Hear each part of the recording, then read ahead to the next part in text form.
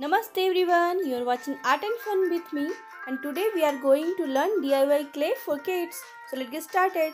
At first I have taken here half cup of salt. Now I am taking half cup of water and mixing them well. Now mix them well until the most of the particle of salt will dissolve in water. Now we will take 1 cup of all-purpose flour maida and mix them with the help of a spoon after mixing them well,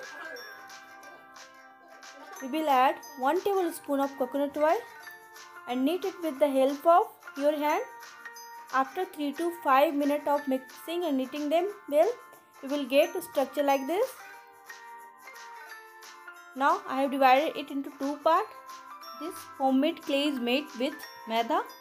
Even though don't allow your kids to eat them because I have added here too much of salt so that it can stay for a long time.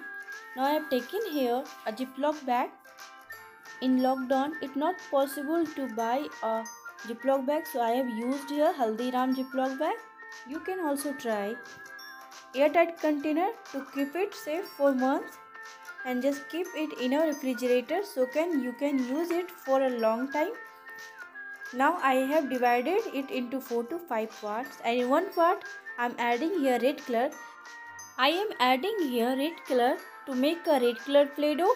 If you need more red color then please feel free to add and mix them well.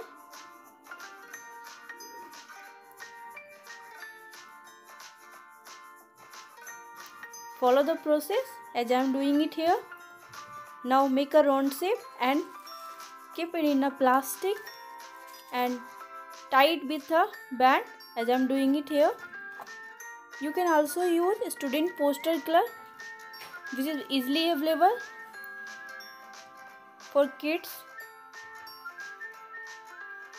So I am showing you with both the colors acrylic colors as well as with poster colors. Here I am using poster color. Take more colors and mix them well. Now make a round shape and follow the same process tie with the band. Similarly, I have made more colorful Play-Doh. You can make Play-Doh of your choice or whichever color you have. Just try it.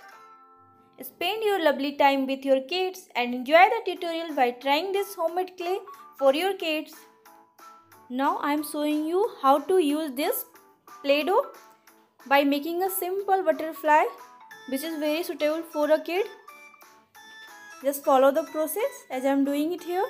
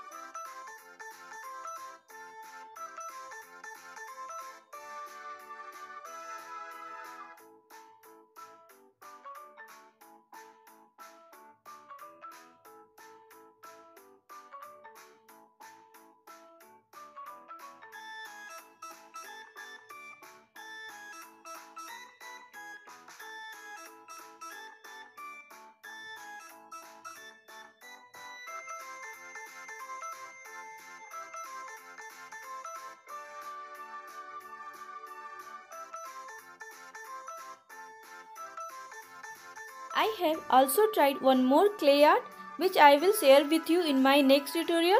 Till then, subscribe, like, comment and don't forget to share with your friends and family and stay connected.